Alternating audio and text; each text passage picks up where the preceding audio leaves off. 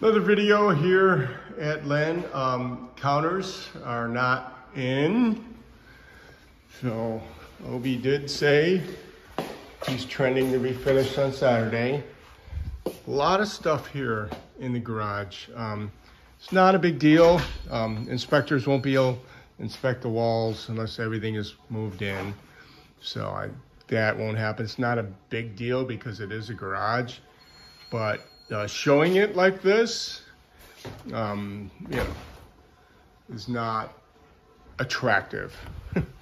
so whatever can get removed, you know, I could get a hauler over here, but I don't know what's junk versus not junk, okay?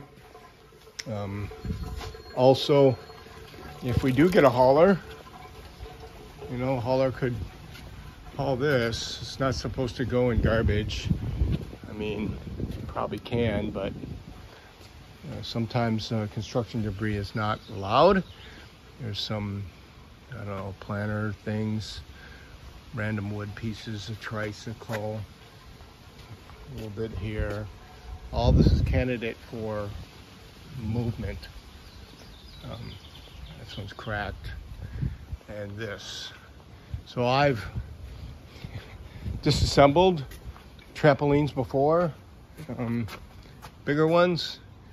I mean, it can be done, but if you pay someone to haul it, they could probably disassemble it. They might have to, you know, do a little work, take a little bit of time to do that. You have to pay for that labor, but it's not really a, a showing feature to me.